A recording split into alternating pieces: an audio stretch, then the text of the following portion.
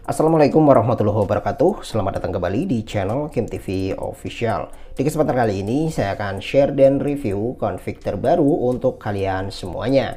Dan kali ini adalah config Gopix untuk Keycam Samim 84 Untuk fitur-fiturnya di config kali ini cukup lengkap ya teman-teman. Di sini sudah support full manual Ada manual ISO, kemudian manual shutter speed manual fokus dan juga manual saturation. Serta sudah support aux lens ada ultrawide lensa utama dan juga makro.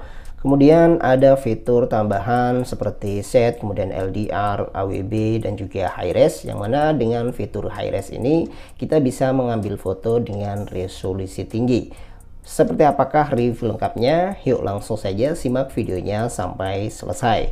Namun sebelum kita lanjutkan, jangan lupa untuk tetap dukung channel ini dengan cara like, share, komen, dan juga subscribe. Serta aktifkan notifikasi loncengnya agar kalian tidak ketinggalan video-video terbaru lainnya dari channel ini. Oke, untuk selanjutnya langsung saja kita menuju ke tutorialnya. Untuk langkah yang pertama, tentunya kalian harus download dan install terlebih dahulu APK-nya. Linknya semuanya ada di deskripsi ya teman-teman. Dan untuk config kali ini bisa digunakan di semua Samim versi 84.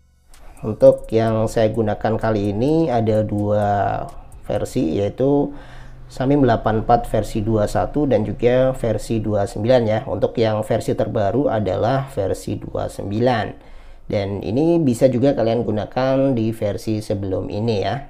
Oke nanti langsung kita praktekkan semuanya.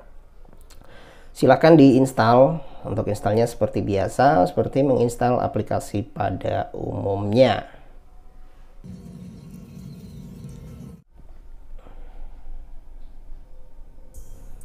Oke, untuk proses instalasinya sudah selesai. Untuk selanjutnya, Sebelum kita lakukan restore config-nya, terlebih dahulu kita buat dulu folder config-nya. Dengan cara masuk ke menu setting, kemudian ke bawah additional setting, kemudian ke bawah config setting, lalu kita config save, kemudian save. Ini untuk membuat folder sgcam XML ya yang ada di memori internal yang nantinya kita akan taruh file config-nya di folder tersebut. Seperti ini. Selanjutnya silahkan kalian download config-nya. Linknya ada di deskripsi ya teman-teman. Nanti untuk linknya di Mediafire. Kemudian untuk config-nya nanti berpassword dan passwordnya ada di dalam video ini. Makanya silahkan disimak videonya sampai selesai. Jangan di skip-skip agar kalian menemukan passwordnya. Setelah diekstrak maka akan terdapat uh, eh, 6 config dalam tiga format viewfinder. Ada JPEG, UV dan juga auto. Serta nanti akan saya sertakan config yang support aux dan non aux ya. Yang aux buat HP yang support aux LAN ada ultrawide dan juga makro kemudian non aux buat HP yang tidak support. Oke? Kalau sudah silakan di copy config-nya ke penyimpanan internal. Selanjutnya cari folder sgcam sgcam ini ya. Lalu xml dan kita pastekan di sini di dalam folder xml selanjutnya silakan buka lagi gcam-nya yang pertama saya coba yang Samim versi 29 ya. Kemudian kita lakukan restore config-nya dengan cara tap dua kali di sini. Lalu pilih config-nya, go fix. Kemudian kita import. Nah, kalau seperti ini, ini belum terrestore ya. Kita harus ulangi sebanyak dua kali, teman-teman. Kalau belum muncul fitur-fitur di sini, ini artinya config-nya belum terrestore. Ini harus kita ulang lagi karena di Gcam Samim 84 itu biasanya harus minta diulang sebanyak dua kali ya kita import lagi.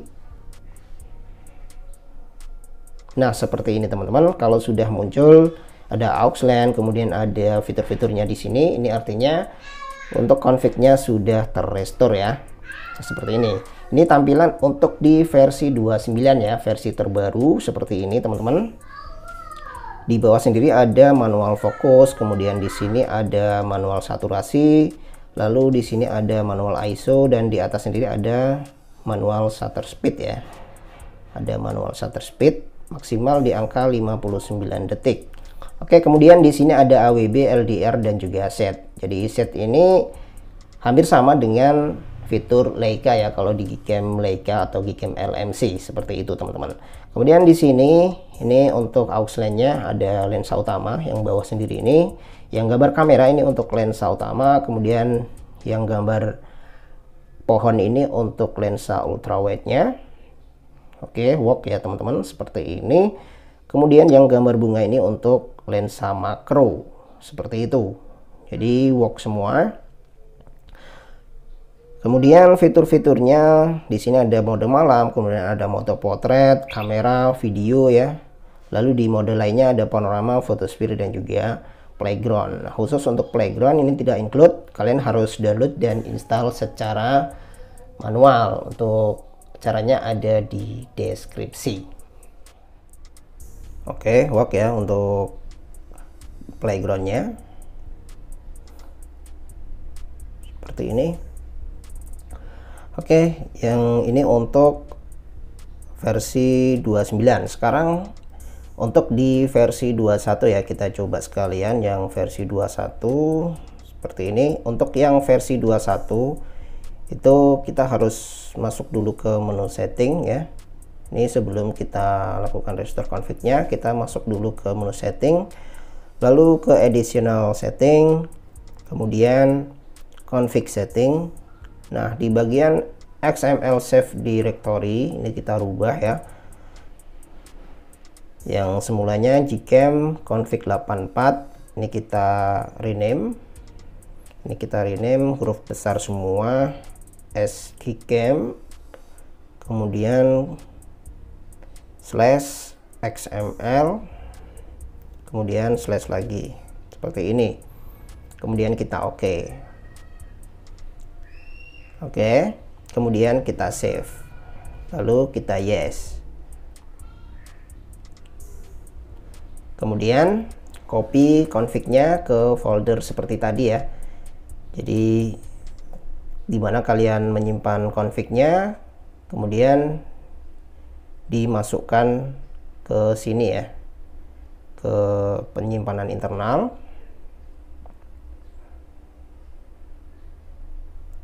kemudian sgcam xml dan pastekan di sini. Sama. Sama seperti tadi. Kemudian untuk restore config-nya sama saja. Kita pilih Copix ya. Kemudian kita import. Nah seperti ini teman-teman. Kalau belum muncul kita ulangi sekali lagi. Jadi memang harus diulang sebanyak dua kali ya perbedaannya kalau di versi 21 itu untuk lensa utama ada di tengah ya kalau yang versi 29 tadi untuk lensa utamanya ada di bawah hanya penempatannya aja yang beda kemudian untuk AW, BLDR, set dan juga high res-nya ada di sebelah sini. Kalau yang versi terbaru 29 ada di atas. Untuk fitur-fitur yang lainnya semuanya sama aja ya. Seperti itu teman-teman dan di sini fitur-fiturnya sama persis seperti ini. Oke, dan untuk lebih jelasnya langsung kita tes di outdoor.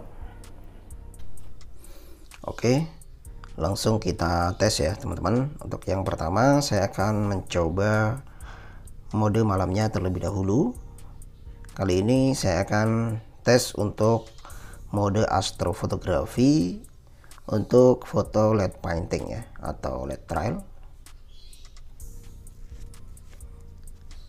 jadi untuk foto LED trail atau LED painting pastikan selalu gunakan tripod ya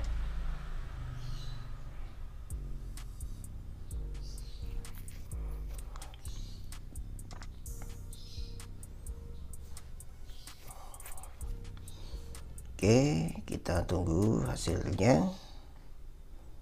Dan seperti ini. Mantap ya teman-teman. Ini untuk foto LED painting. Kemudian untuk selanjutnya ke tempat yang berbeda. Ini untuk mode malam biasa, auto net side ya. Mode malam otomatis. Ya seperti ini. Ini untuk AWB off selanjutnya coba AWB nya kita on kan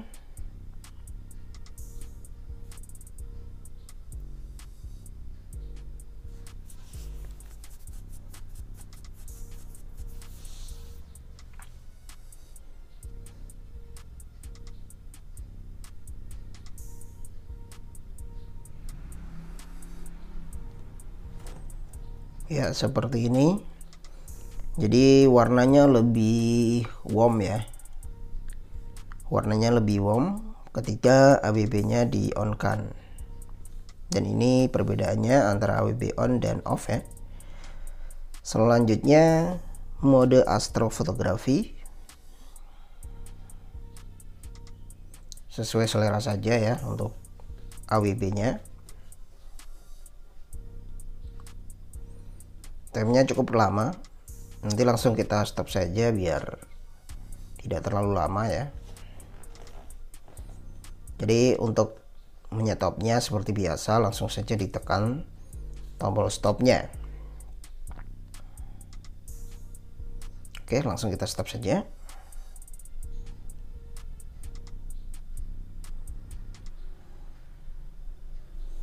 Ya seperti ini hasilnya. Ini untuk mode astrofotografi.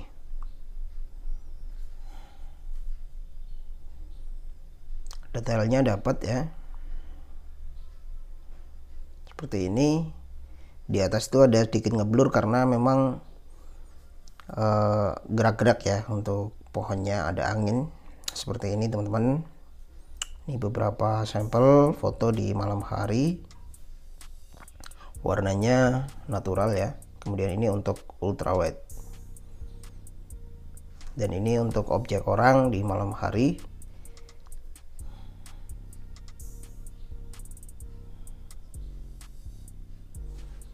Kemudian ini beberapa sampel foto di siang hari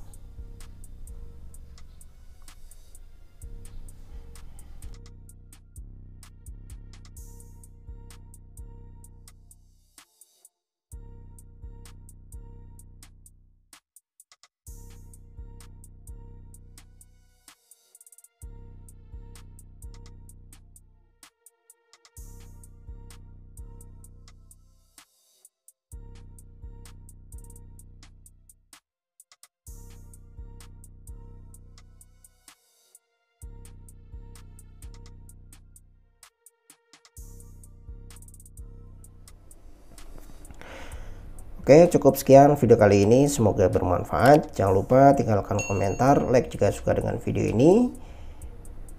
Akhir kata, wassalamualaikum warahmatullahi wabarakatuh.